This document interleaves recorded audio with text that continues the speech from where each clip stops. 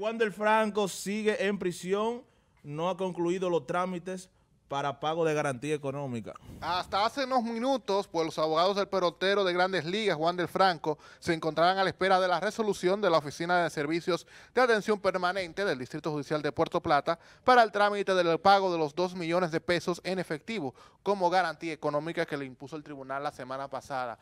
Tenemos la información y podemos confirmar que ya Juan del Franco, pues ese dinero fue pagado y por tanto está ya en libertad por supuesto, pues con las condiciones que le impuso la Oficina de Servicios de Atención Permanente allá en Puerto Plata. El caso Warner Franco, que ustedes saben, pues en la semana pasada fue de lo que más se habló aquí en República Dominicana y también a nivel mundial se fue ese caso.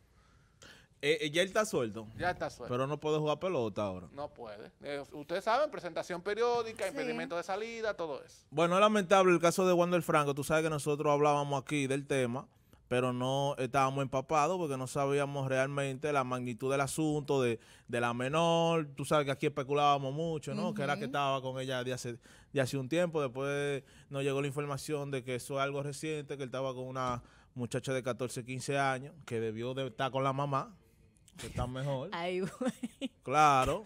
Entonces él me salta a mí en, un, en, un, en una vaina que que me involucré y me gustó. Entonces te gustó y, perdiste el dinero. una llamada. Saludos. Buenas. Hello. Hello. Buenas tardes. saludos. Miren, muchachos, eh, le voy a decir algo a los tres.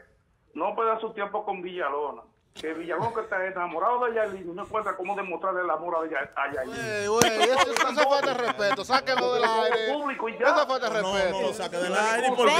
No, no, con respeto no. No, Villa, Villalona lo que es Tim G, que está enamorado de Yailin soy yo.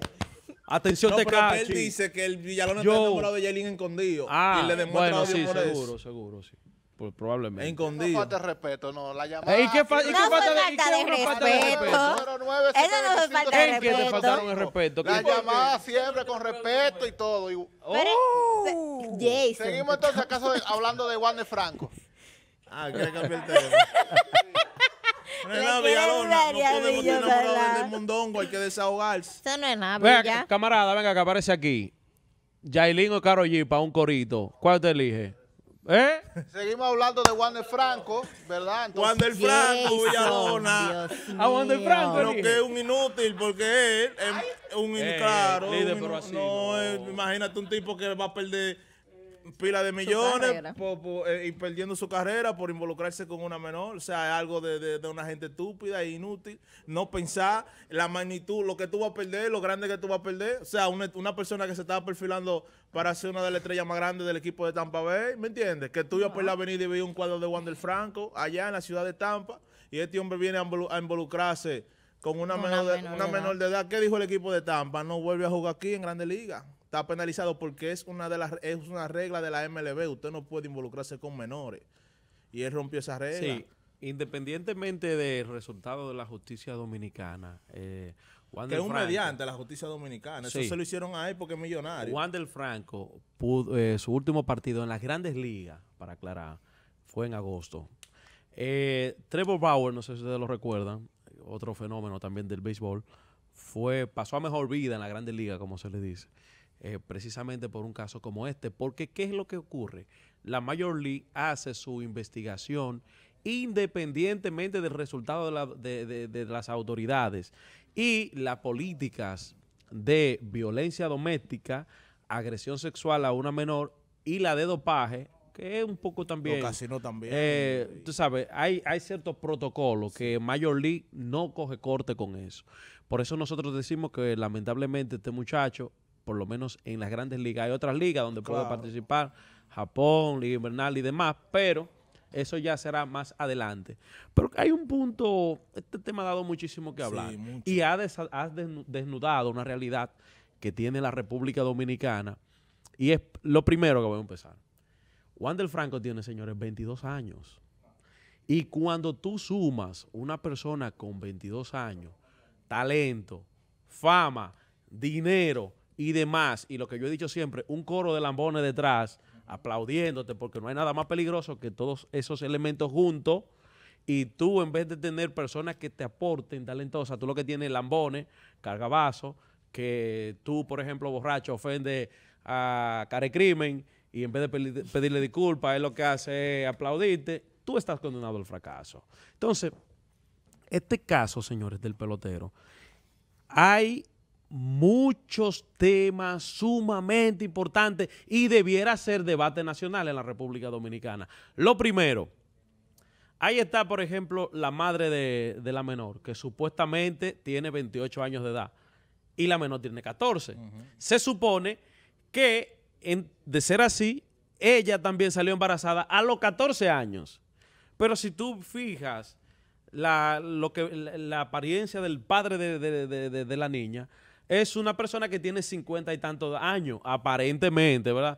Entonces, esa misma persona, ese agresor de ese momento, es quien se está querellando hoy.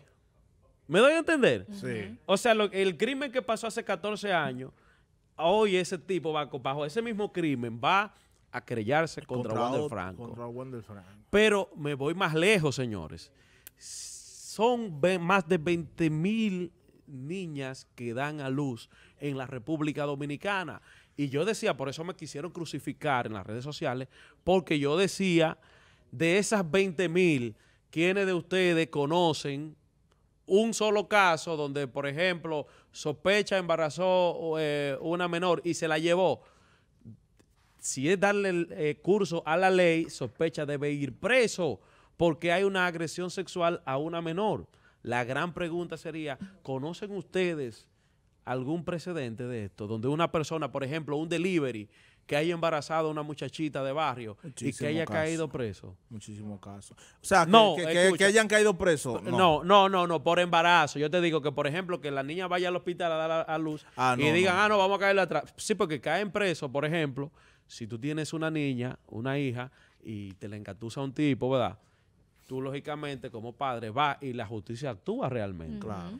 Pero cuando están estos factores de que estamos hablando, de que a veces tú ves que a tu, a tu hija, quien te la engatusa, es un tipo que puede darle peores condiciones que la tuya, tú te quedas tranquilo, tú dices, no, yo no voy a poner a mi niña a que pase trabajo. Sin embargo, cuando son personas que tienen, le pasa muchísimo, a los artistas le ha pasado. ¿Recuerdan el caso de Fran Reyes? Cogió un bobo Fran Reyes con eso.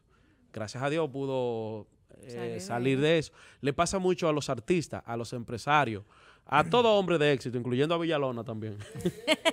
Le pasa este tipo de cosas. Entonces, el llamado que yo quiero hacerle a la justicia dominicana es que si vamos a tomar medidas para evitar este tipo de cosas, que bueno, ya empezamos con Wander Franco, pero yo quiero, Ministerio Público, que desde ahora se empiece a hacer un levantamiento primero de todas las menores que están en redes sociales que no debieran tener redes sociales. Atención, match. Atención, Instagram, eh, Facebook. Bueno, Facebook creo que no tanto, pero Instagram es una red para adultos. Y hay menores que están teniendo, eh, eh, tienen su Instagram abierto, pero me voy más lejos.